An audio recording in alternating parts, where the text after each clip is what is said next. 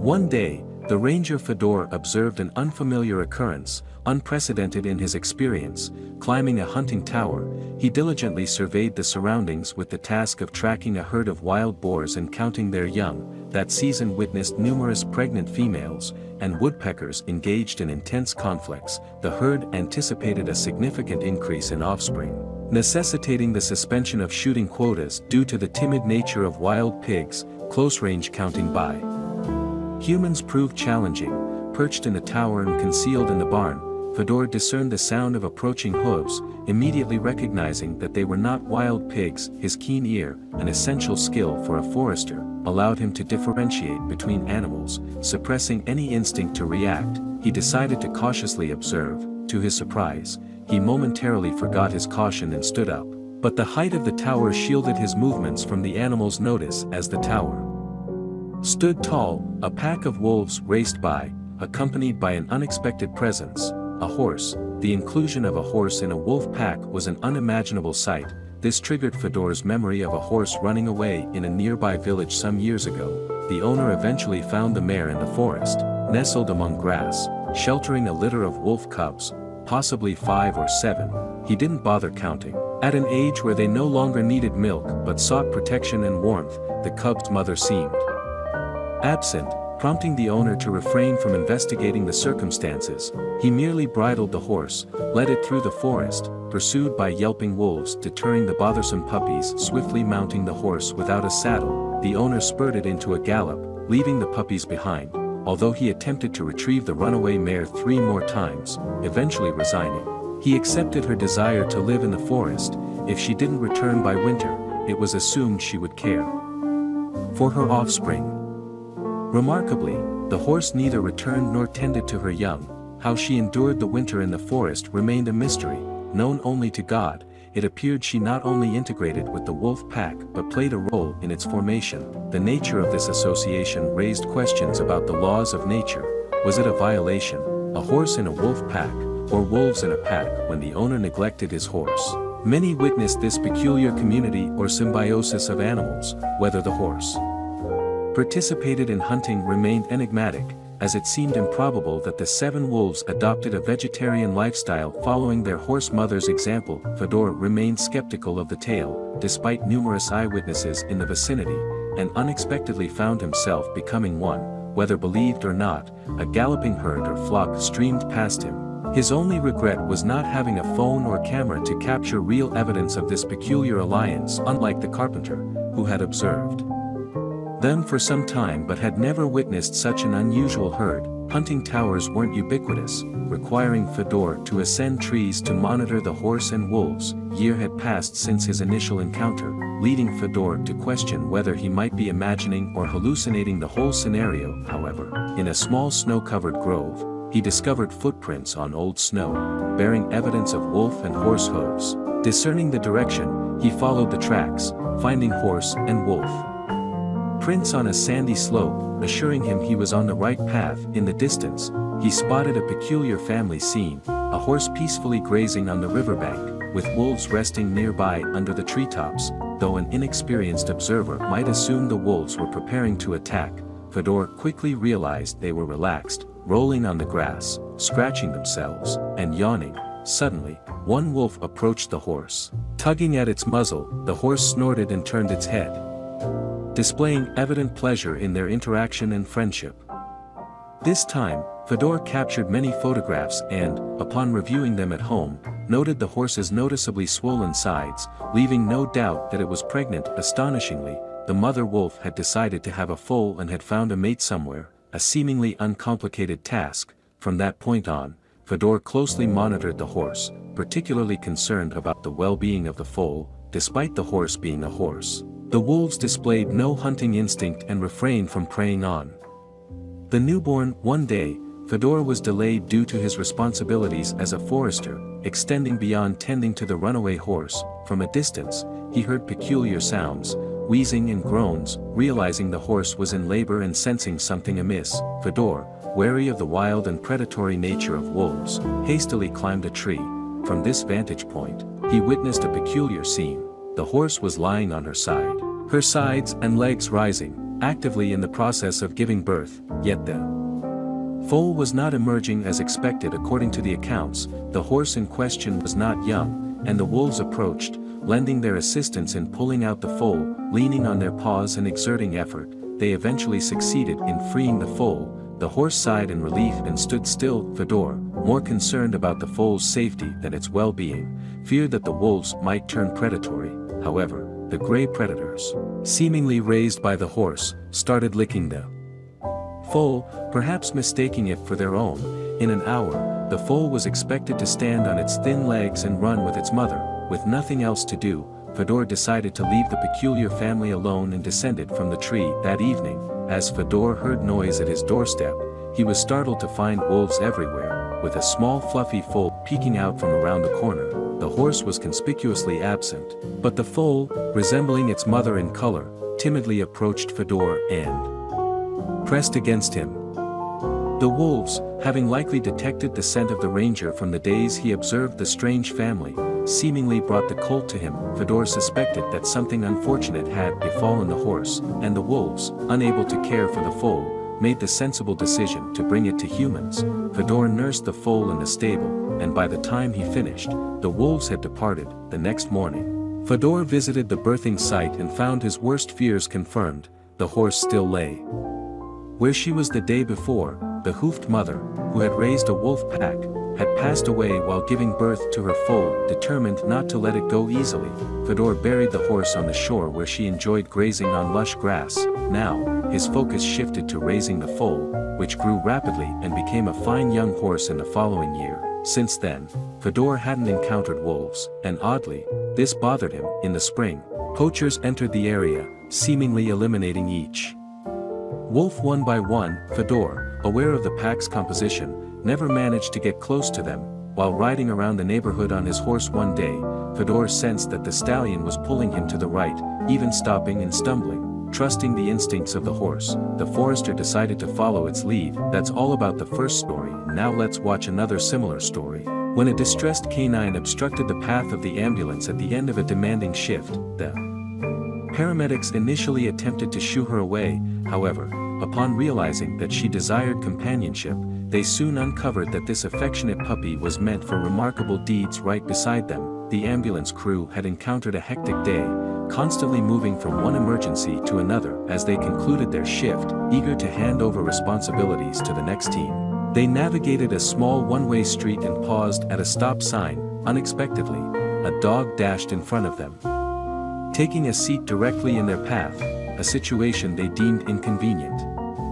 The medics disembarked to chase the dog away, and upon their approach, she darted to the side of the road, looking back at them, having accomplished her mission, the medics re-entered the ambulance, prepared to proceed, but before the driver could start the engine, the dog returned to her spot, determined not to let them depart. Once again, they exited the vehicle, and she repeated her actions. Running in the same direction while continuously glancing back at them, the dog exhibited signs of distress, with her tongue hanging out and rapid breathing, although puzzled by her agitation, the medics pondered whether she wanted them to follow her. To test this hypothesis, they walked a few paces behind her. She ran ahead but frequently checked to ensure they were still in pursuit. It became evident that she was attempting to convey something.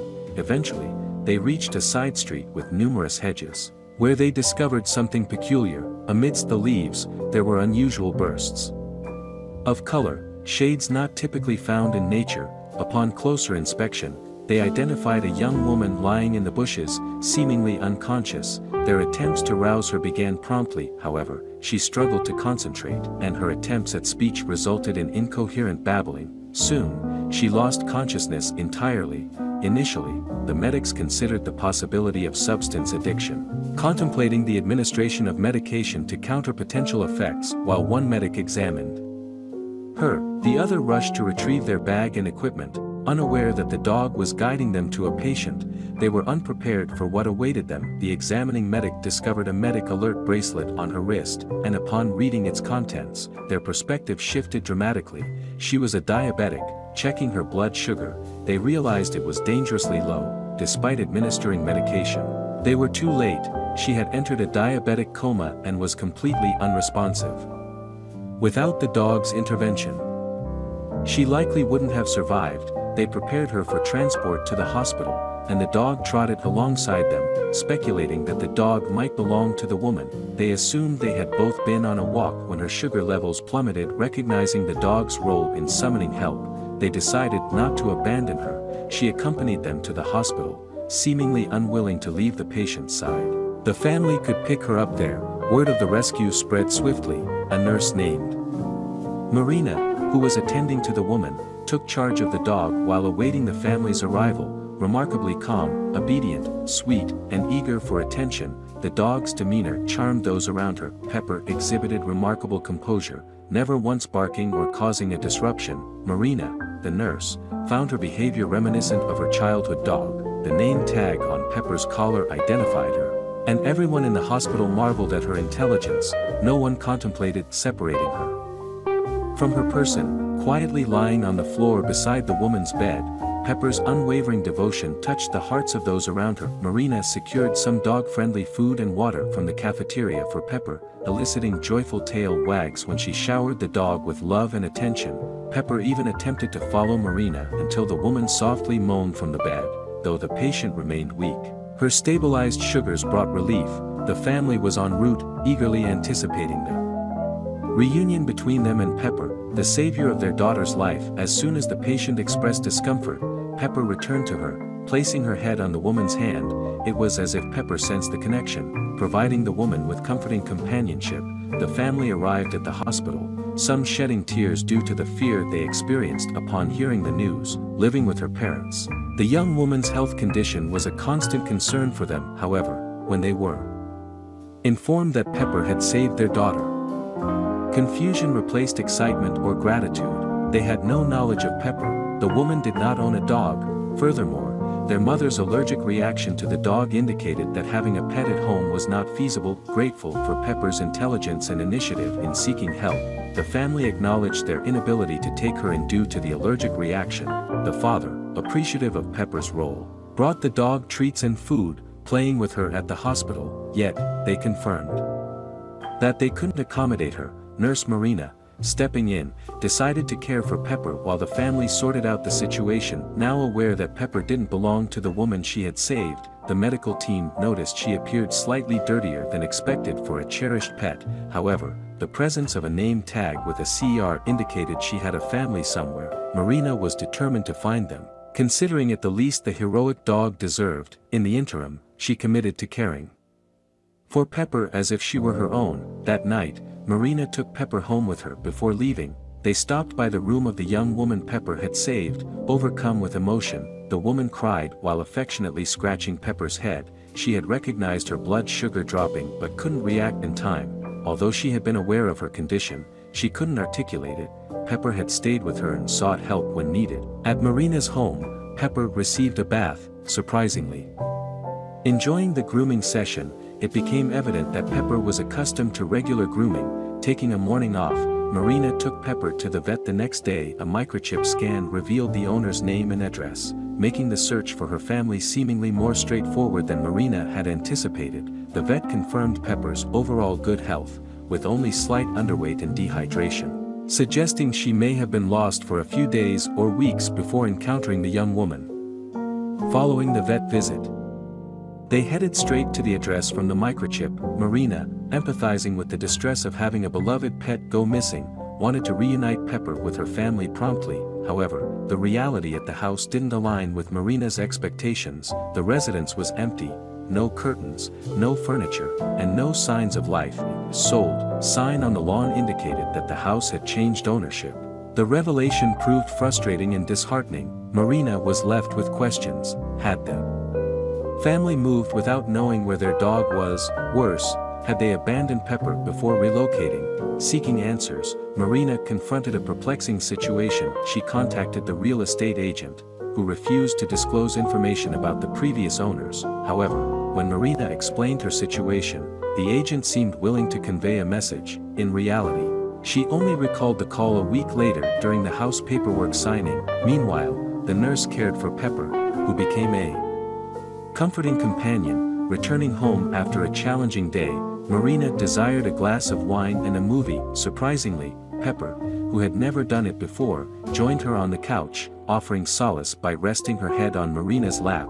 This newfound bond prompted Marina to seek permission to bring Pepper to work, recognizing Pepper's good behavior and understanding her circumstances. Everyone agreed she should accompany Marina to avoid being left alone at home. Unbeknownst to them, Pepper became immensely popular at the hospital, demonstrating a remarkable ability to provide comfort and support, she instinctively knew when patients needed solace and had a talent for offering it. Pepper's hospital visits, where she greeted patients and napped beside them, brought joy to many, notably, she spent time with a terminally ill patient who lacked family support, though the patient's older sister visited occasionally.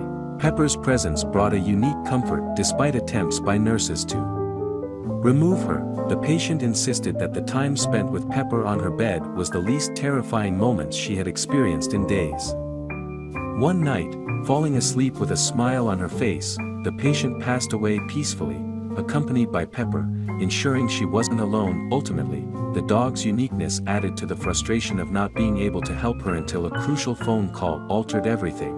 The real estate agent, having relayed the message to the sellers, promptly contacted Marina. To her surprise, they revealed that they didn't own the house. It belonged to their father, and Pepper was his dog and closest companion. For about a year, Pepper had been a comforting presence for her owner, who had been battling a serious illness, their bond strengthened during his illness, as the dog seemed to be the only source of comfort for him. However, the family faced a dilemma when they couldn't provide the necessary care for their ailing father, leading to his transfer to a dementia care facility. Uncertain about Pepper's future in a multi-pet household, the family wanted to ensure their father could still interact with his beloved dog, leaving Pepper at home during their visits to the care facility, they returned to find her missing, suspecting she had tried to follow them and gotten lost. The search for Pepper proved futile, breaking their hearts, as she was the first thing their father inquired about on his good days and seemed to reach out to on his bad days. The family's relief was immense when they learned that Pepper had been found, but they were still unsure of what to do with her. Enter. Marina, who, after the incredible turn of events involving a troubled dog blocking an ambulance, offered to adopt Pepper, she even promised to bring Pepper for visits to their father's care home. The joy on his face upon seeing Pepper again was beautiful, bringing a momentary recognition and happiness. During visits, he enjoyed playing with her, repeatedly asking about her owner and expressing how fortunate they were. However, at the end of each visit, Pepper was content to return home with Marina, despite concerns about potential stress. It became evident that the dog was at peace, knowing her owner was looked after. Through these experiences, Marina realized the exceptional nature of this very special dog. Believing in Pepper's unique purpose in life, Marina had her trained as a therapy support dog for hospitals. This allowed Pepper to accompany Marina to work daily, providing support to sick patients and lifting their spirits. Both the dogs and the patient seemed to enjoy the companionship, with the latter expressing how much comfort Pepper brought them, regardless of their illness, initially led by instincts to help one person in need, Pepper's training expanded her capacity to assist numerous people. Marina was deeply grateful for Pepper's impact, recognizing her as more than just a pet. Pepper had not only found a meaningful purpose in her work as a therapy dog but also a devoted human companion in Marina. After each day of supporting patients, Pepper got to return home with Marina, where they enjoyed playful moments and fun together, Pepper showcased a perfect balance between fulfilling a purpose at work and relishing joy at home. Both the nurse and the dog built a fulfilling life together. Considering Pepper's remarkable contributions, it's evident that she deserved praise for her efforts. Dogs working in health-related fields, like Pepper, play a crucial role in providing comfort and support to those in need. Their unconditional love and instincts make them invaluable companions in healthcare settings, contributing positively to the well-being of both patients and healthcare professionals.